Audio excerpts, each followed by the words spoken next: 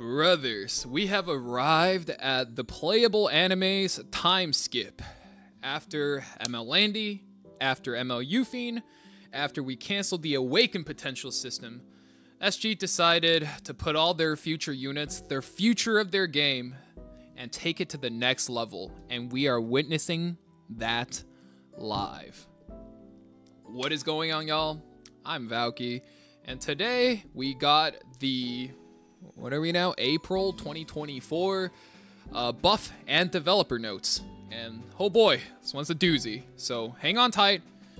We'll go right into it. But also, before I do, don't forget, guys, if you see this line of text, if a damage dealt, increased or reduced, we do not know how good the unit is going to be, and this is just speculation. So hang on to your hats, and uh, let's dive into it.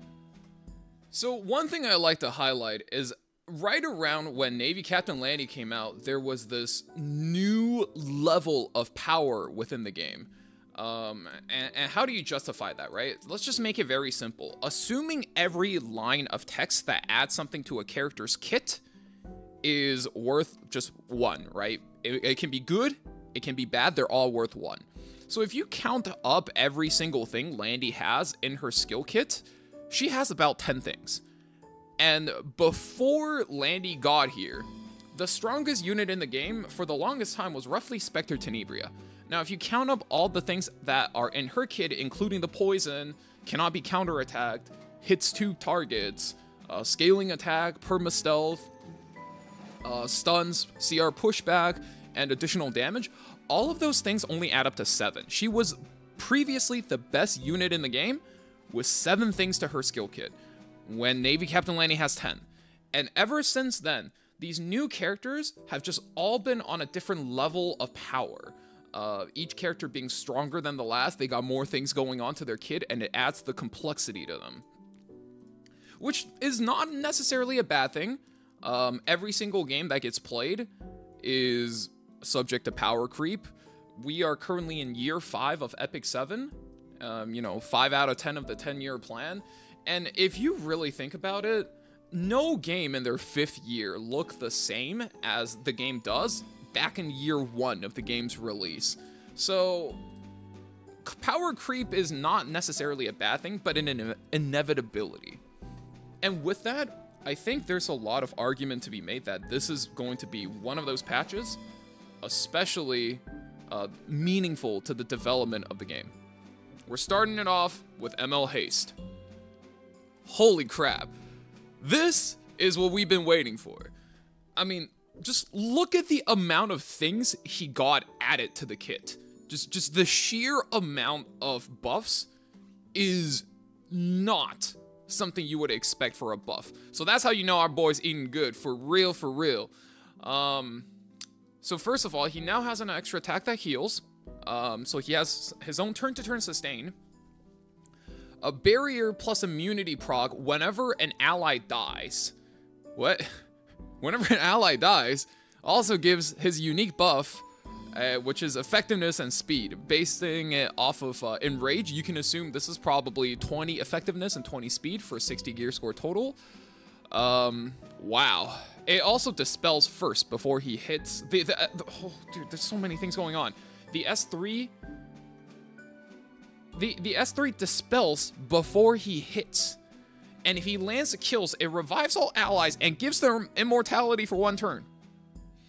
And when he has his unique buff, just, just you know, just a cool and crisp double damage, we'll, we'll take that, right? And all that it takes is he now penetrates defense when he attacks and cannot trigger a critical hit. Like, wh what? That is insane. He only does pure damage ever now. I, I, I, I mean, I think Haste really landed the glow up after this time skip arc. Uh, it's always been pretty clear that he needed to be reworked if he wants to be relevant again, since that old kid is designed for a different time, right? It was designed for the revive meta. It was designed to counter um, Maid Chloe, designed to counter Arbiter Vildred back during their heyday.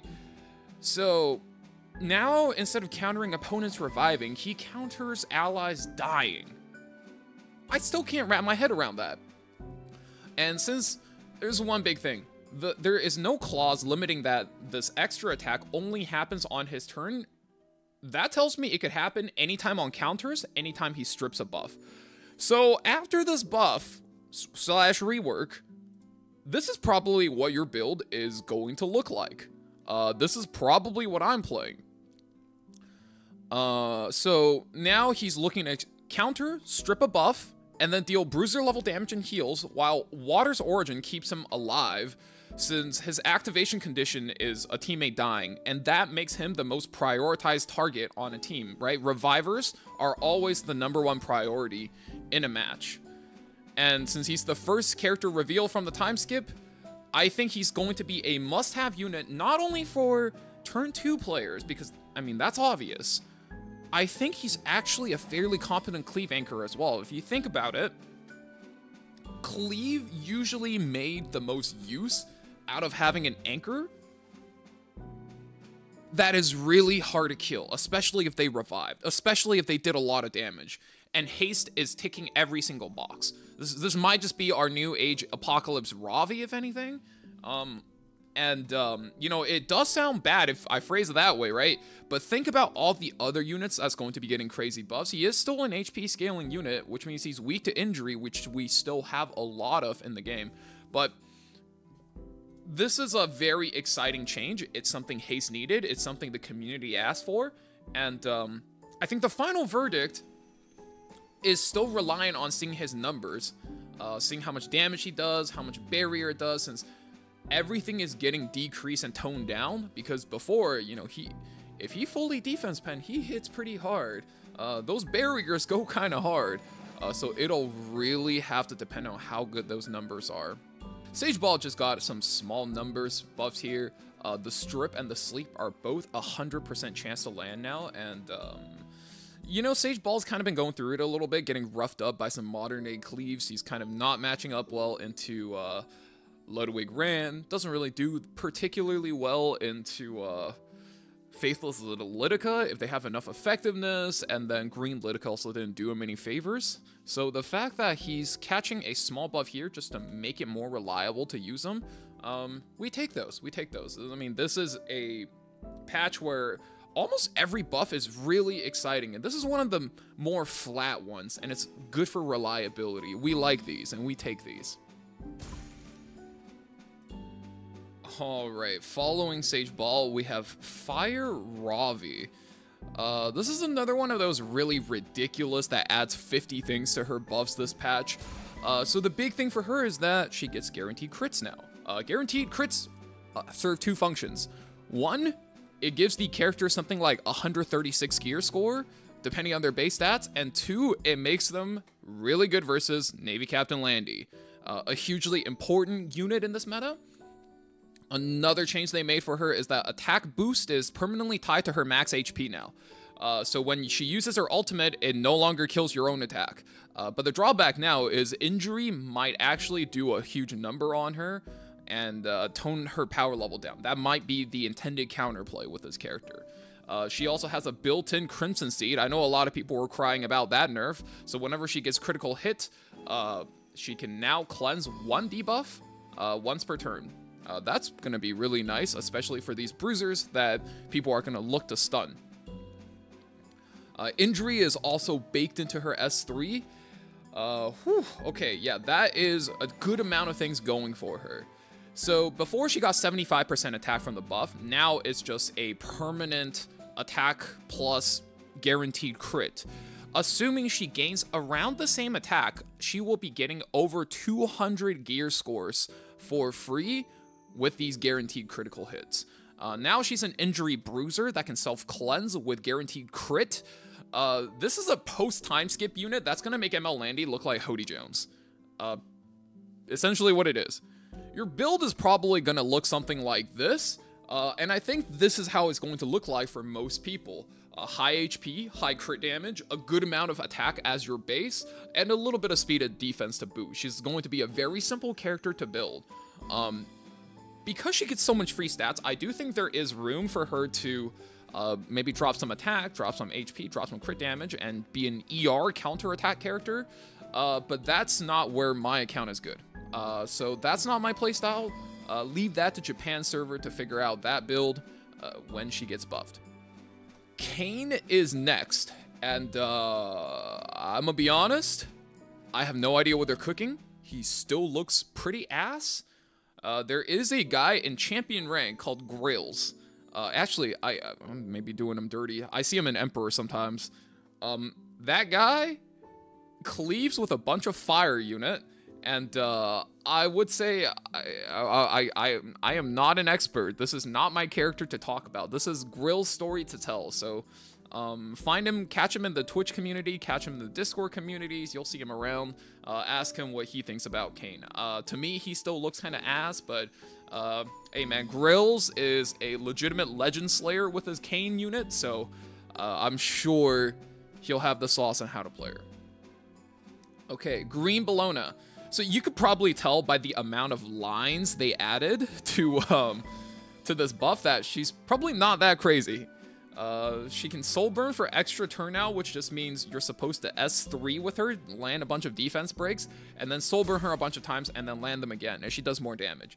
That tells me she's not designed now to be a PvP unit, but rather uh, for any and all incoming PvE plays, she's probably going to be a lot better. Uh, defense break is the biggest damage amplification in the entire game and uh, they made that more reliable for her as well as having more ways to activate it so um, she's probably going to be slightly better there.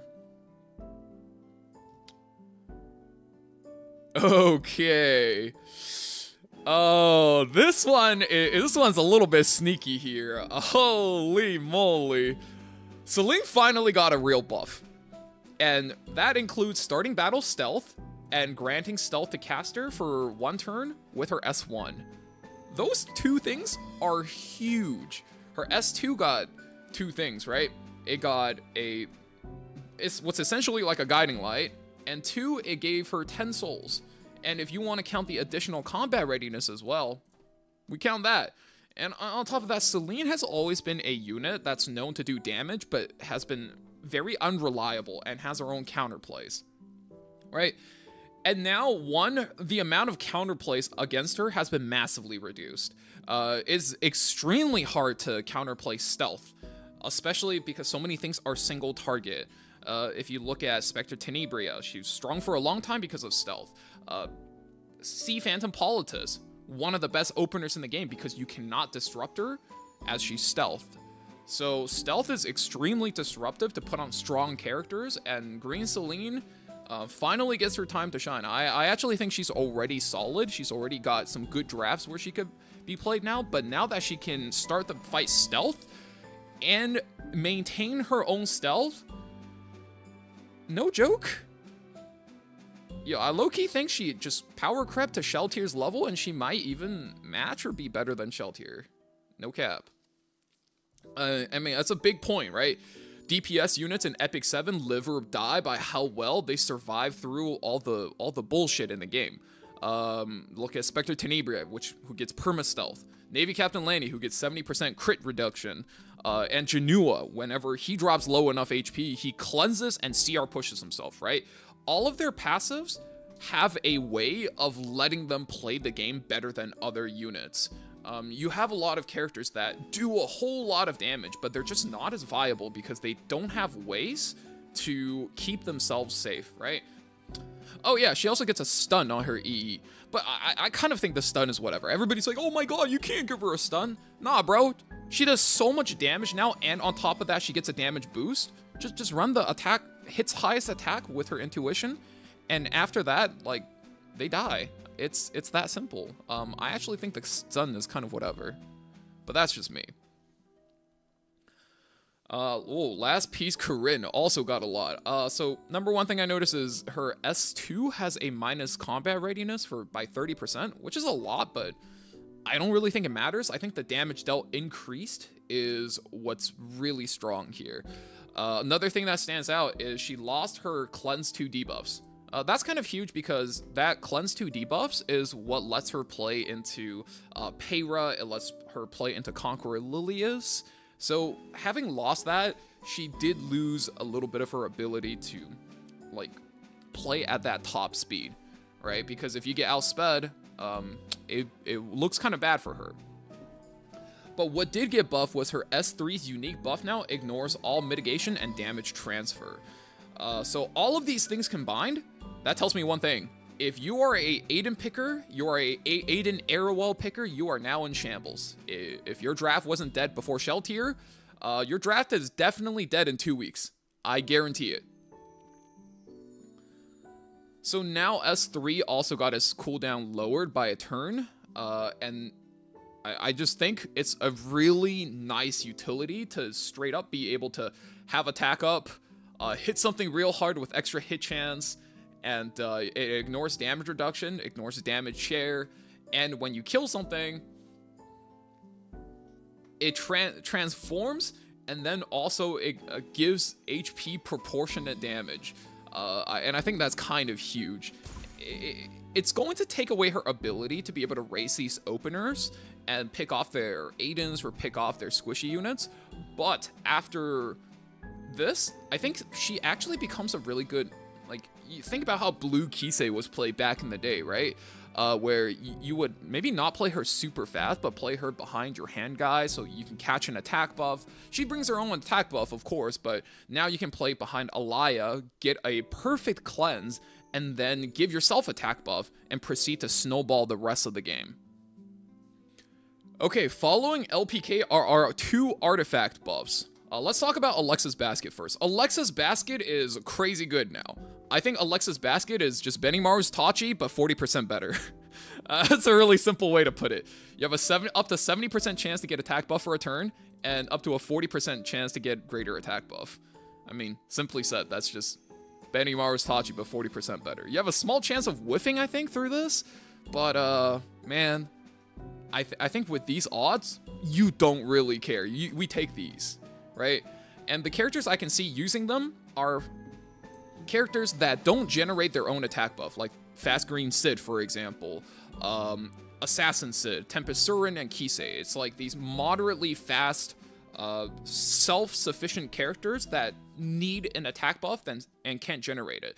I think the real winner here is that it lets you divest your Wind Riders on characters that absolutely need them, like your Janua or maybe your Gala Lilius, and it gives other characters that just need the damage aspect of this artifact uh, a different outlet for easy damage boosts. And the last thing buffed here, even though this doesn't seem very huge, um, Abyssal Crown stun chance up to 30%, just for a cleaner number, uh, and for more chance to stun off of units like Fire Poly. And this tells me one thing. There is not going to be a unit anytime soon that counters ML Politis nothing anytime soon is going to counter her. I would slap this on your degen red poly and just pray until Smilegate can figure out a way to print a balanced character that also beats Sea Phantom Politis. Spoiler alert, you can't. You can't beat her by being balanced. That's not how this works. In any case, uh, your Fire Poly is just going to be a slightly, slightly more reliable counter to ML Poly, Anyways, that is this entire wave of uh, buff notes. I, I I don't even know what to say. I'm actually so excited, and I think you guys can tell. Um, when somebody is, is excited about the incoming buffs, their gear for the new units are ready before the buffs even touch the game. Like, my builds are ready. My haste is ready. My Fire Ravi is ready. And bro, my Celine, my Celine was born ready. She's been ready for years, and she's ready to wreck faces. And uh, yeah, uh, let me know what you guys think about some of these buffs. Let me know how you guys plan on playing some of these units. Um, if you guys have questions, feel free to leave them in the comments as well, uh, or hop in the Discord to discuss them. But that's going to be it from me for today. I will try to have some end of the season content come out. Uh, hopefully soon, before the final week starts. Any case, have a great one, guys. Stay safe out there, and I'll see you in the next video. See ya, see ya.